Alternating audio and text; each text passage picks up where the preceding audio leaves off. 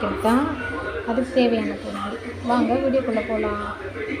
வெங்காயம் ஒன்று தக்காளி மூணு கொத்தமல்லி கலப்பு பூண்டு நாலு முட்டை எண்ணெய் ஊற்றிருக்கோம். அப்படியே கடுகு போட்டுக்கலாம்.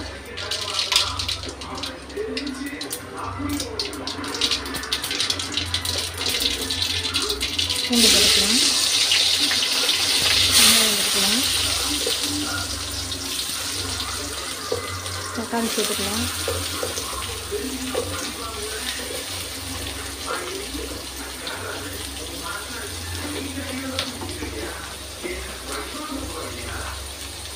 சால்ட்டு போட்டுக்கலாம்.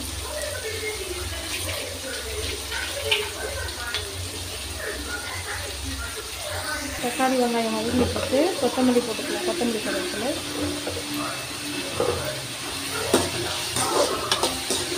நல்லா வதங்கிட்டு அப்புறம் மிளகாய்த்தூள் மஞ்சத்தூள் போட்டுக்கலாம்?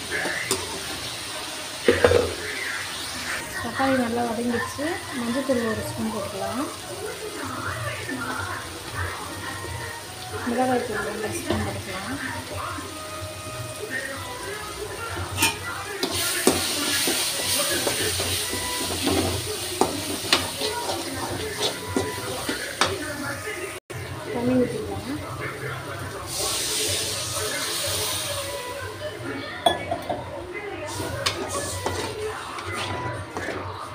இது நல்லா கொதித்து வெங்காயம் பச்சை வாசனைலாம் போட்டோம்.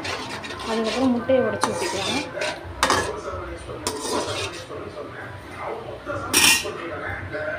குழம்பு கொதிச்சிச்சு. முட்டை ஊற்றிக்கலாம் முட்டை ஊற்றியாச்சு நல்லா வேகட்டும். வெந்த உடனே நான் உங்களுக்கு முட்டையை காட்டுறேன். முட்டை குழம்பு.